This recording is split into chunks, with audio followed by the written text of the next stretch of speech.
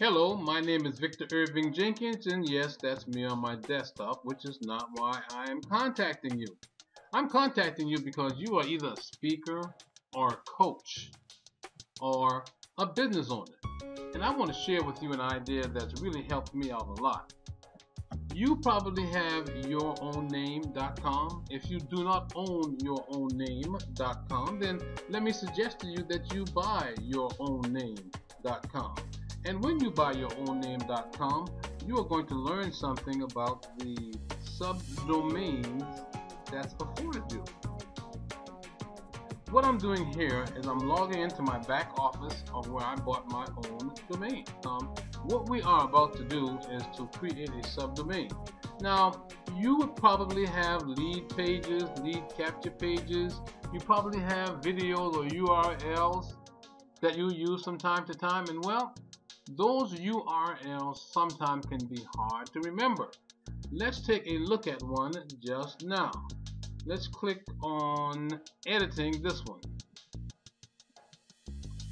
So as you can see, this domain is kind of yucky and certainly you can use the bit.lys if you want to but everyone knows what a bit.ly is and that won't encourage anybody even people that you know to click on your link so here's what you do. Say for instance, you have a YouTube channel or you have any other kind of channel. But you, what you want to do is you want to use a subdomain in order to make it easier for people to click on your link.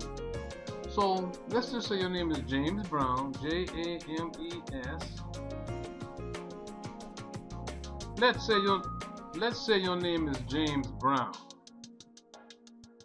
Let's say your name is James Brown. A M E S B R O W N. So now you have a website called James Brown. And in here, you put the URL of whatever the capture page is or whatever page you want to put this subdomain to transfer to and you put it right in here and when you finish you click add and then you would have a subdomain like this. You see, for instance, this subdomain here is called coachestraining.cravethespotlight.com. This subdomain is called joegracespeaker.cravethespotlight.com. This one is called John Pyron Webinar.cravethespotlight. You get the idea? Now, and if you don't want to use it anymore, when you get tired of it, then you simply come over here and you get rid of it like that. Got rid of that one because I'm not using these anymore. I'm not using playlists anymore. Get rid of that one. And, well, we'll just take a moment to show you what one of these looks like. Say, for instance, speakers. We're going to show you this one. Let's save this. And they've gone away. And let's take a look at one of those subdomains. It's called speakers dot crave the spotlight.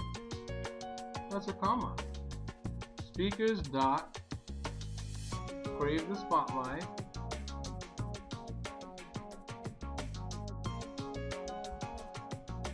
Dot com. Now I had this a long time ago and I haven't used it in probably two years, but let's see what it does.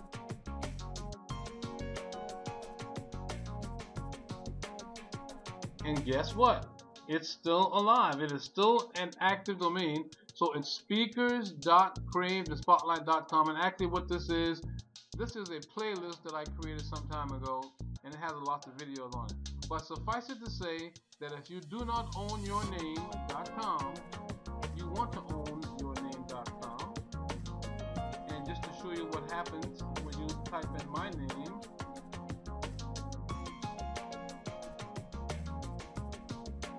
VictorIrvingJenkins.com. That's what happens at VictorIrvingJenkins.com. And if I were to create a subdomain, the subdomain would be uh, whatever I wanted it to be, dot VictorIrvingJenkins.com. So I hope this has helped you. I hope you embrace the idea of actually creating your own yourname.com and a subdomain.com. Thank you very much for taking the time to do this, and this is going to change your business. This is going to make it easier for people to click onto your link. If you need any help with getting this done and you already have your domain, please by all means give me a call at 916-230-9555. This is Victor Irving Jenkins reminding you to have a good time.